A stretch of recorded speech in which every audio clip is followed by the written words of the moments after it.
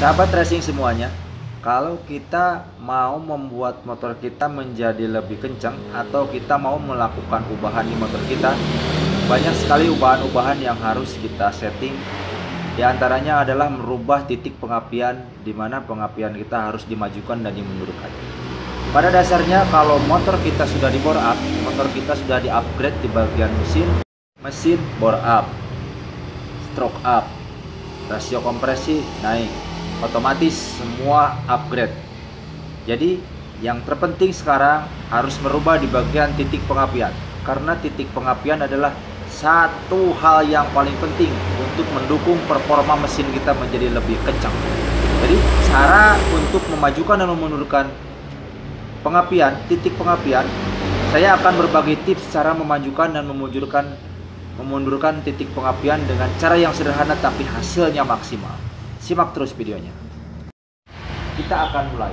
Di depan saya sudah terdapat satu buah mesin Suzuki Terjet di mana motor ini sudah mulai sudah melakukan beberapa perubahan dan saya akan mencoba mempraktekkan e, cara merubah titik pengapian. Ini adalah satu buah mesin Jupiter Jet yang akan saya jadikan sebagai contoh bagaimana cara memajukan dan memundurkan titik pengapian tanpa merubah pick up pulser tanpa merubah atau menggeser pick up pulser ini tapi e, titik pengapian dari motor ini dari mesin ini akan menjadi maju atau bisa dibikin mundur tapi tanpa harus mengelas atau menggerinda ini. Bagaimana caranya? Anda simak terus videonya.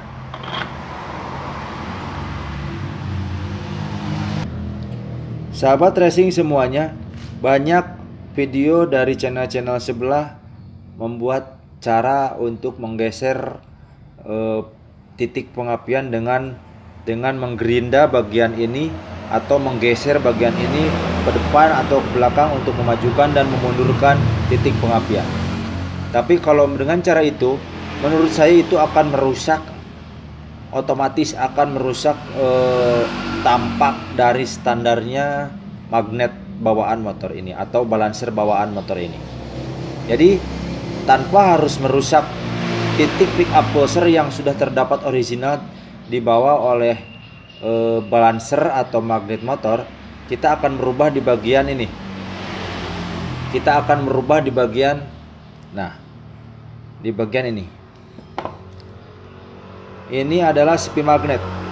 Sepi magnet ini terdapat atau berada terpasang pas di rumahnya yaitu di bagian e, coak yang berada di kruk as.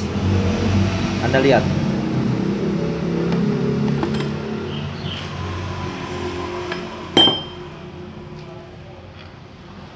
Nah, di sinilah posisi dari posisi dari speed magnet ini berada dan ini adalah pengunci agar supaya agar supaya balancer ini tidak bergeser ke depan atau ke belakang dikala kita memasang dan mengencangkan bautnya.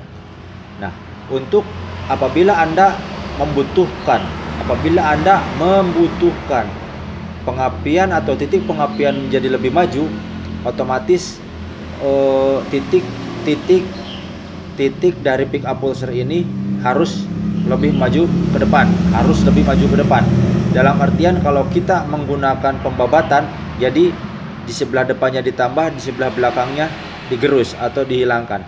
Nah, untuk cara saya tanpa merusak ini, caranya Anda hanya harus mempapas ini.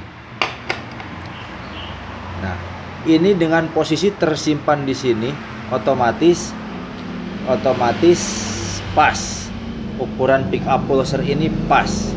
Nah, untuk supaya maju ke depan, jadi ujung dari ujung ujung atas sebelah kanan ingat kalau kita tampak dari motor ini dengan melihat mesin seperti ini ujung kanan tampak ujung ini pojokan ini pojokan sebelah kanan ini dipapas pakai gerinda. Dipapas pakai gerinda ingat dipapas pakai gerinda. Nah papasan itu memapas itu anda lakukan uh, step by step. Jadi Anda papas, Anda pasang di as, Anda pasang magnet, Nah, coba Anda kalau sudah kalau sudah memasangkan magnet, Anda coba geser. Geser berlawanan arah jarum jam. Coba geser ke sini. Nah, itu akan terasa ada longgaran yang tadinya kalau kita pasang kalau kita pasang magnet itu pas nggak ada longgaran setelah uh, sepi magnetnya kita papas terasa ada sedikit longgaran. Jadi magnetnya akan semakin maju ke depan. Kalau digeser akan maju. Celak! Nah celak! Nah akan maju gitu. Nah itu itu menandakan berarti titik pengapian dari eh, mesin ini sudah maju. Karena atau sudah bergeser. Karena eh, cowak atau karena sebab magnet pengikat yang tadi sudah kita papas, sudah kita gerinda dan mengakibatkan bergesernya titik titik pick up pulser menjadi ke depan. Dan sebaliknya apabila Anda mau memundurkan tinggal balik saja, tinggal dibalik saja posisi dari sepi magnetnya berada di sebelah kiri. Jadi Anda tinggal putar ke kanan, di sini akan terasa celak itu sudah mundur. Nah, sampai di sini mungkin Anda sudah paham. Jadi itulah cara menggeser cara menggeser pick up atau titik pick up pulser memajukan dan memundurkan titik rasio rasio pengapian tanpa harus merusak dari pick up pulser bawaan motor. Jadi caranya hanya membabat atau menggerus bagian dari uh, sepi magnet ini. Jangan khawatir, sepi magnet ini harganya murah, cuman Rp5.000. Jadi Anda bisa bereksperimen di sini. Ini bisa dijadikan bahan untuk eksperimen. Bubut atau papas bagian ujung pinggirnya step by step dicari sampai titik pengapian paling enak di motor Anda. Oke, sampai di sini dulu uh, tutorial atau tips dari saya. Semoga bisa bermanfaat dan semoga dapat Anda lakukan dengan semaksimal mungkin.